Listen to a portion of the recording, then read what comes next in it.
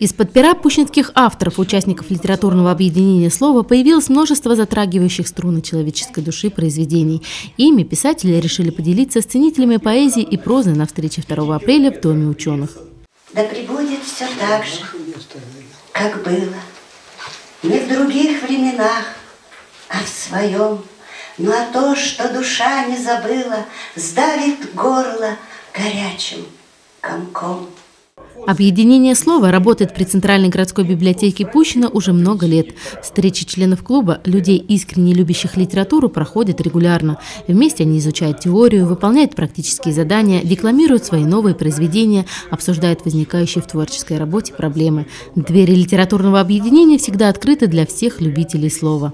Лито имеет довольно уже такой стабильный костяк, где-то около 20 человек. Э, в основном у нас поэты, четыре члена писательских союзов, один член союза журналистов, то есть так люди с опытом литературным, э, значит, э, пишут преимущественно стихи, есть и прозаики, но чистых прозаиков мало, в основном пишут люди и то, и другое.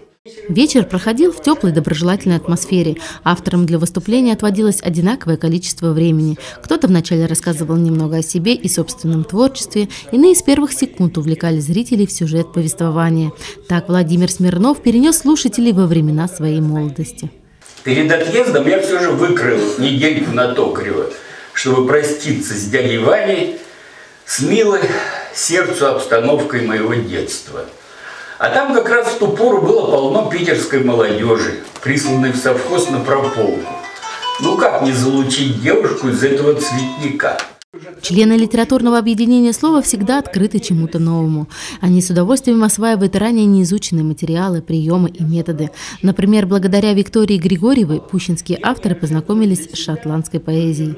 Мне очень понравилось само общество, как э, внимательно и с каким профессионализмом люди относятся к слову, к рифме и к тому, как нужно говорить поэтическим словом об этой жизни. Мне очень понравилось, я посетила несколько заседаний, и сегодня с удовольствием пришла еще раз послушать их собственное творчество.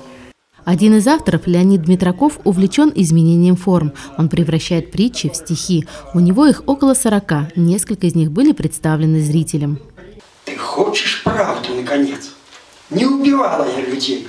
Вы, люди, сами без затей, друг друга убиваете за так, со злости просто, за пятак, как развлечение, за власть. И делаете это в сласть.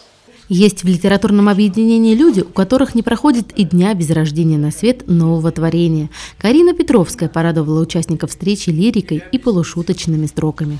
Вот беда несовпадения. Мы на разных полюсах. Это просто невезение или судьбы неверный шаг. Ты идешь спокойно мимо, сердцем за тобой бегу. Не сумела стать любимой, только любящей могу. В этот день звучали стихи и проза. Произведения, прочитанные авторами, касались множества тем – любви, дружбы, жизни земной и вечной. Анна Лихачева, Иван Хромов, Дмитрий Строконь, ТВ Спущено.